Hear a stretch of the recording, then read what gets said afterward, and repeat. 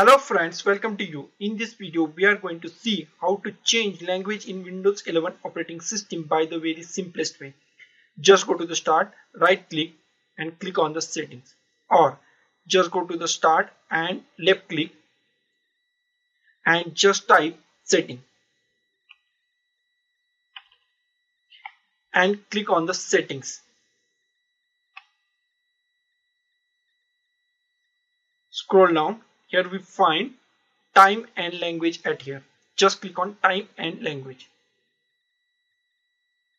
Here just go to the language.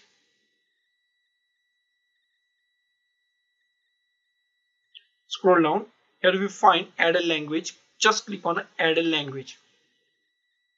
Here we find many languages. You can add any language at here. I want to add spanish. So i type a spanish and scroll down. Here is the Spanish. Click on this and click on next. Click on install.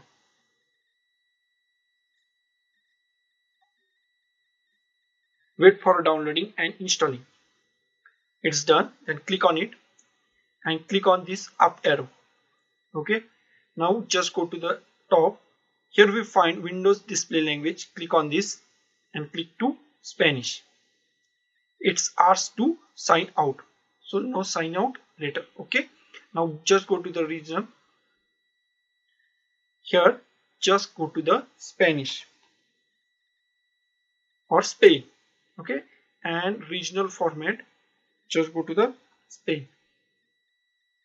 Spanish Argentina Chile international.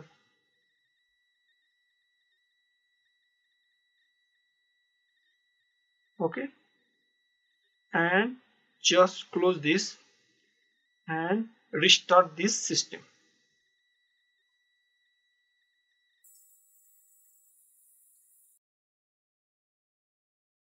after restarting our language is changed to Spanish so by this way you can add any language to your PC. So guys, thank you for watching this video and don't forget to like, share, comment on this video and don't forget to subscribe the channel.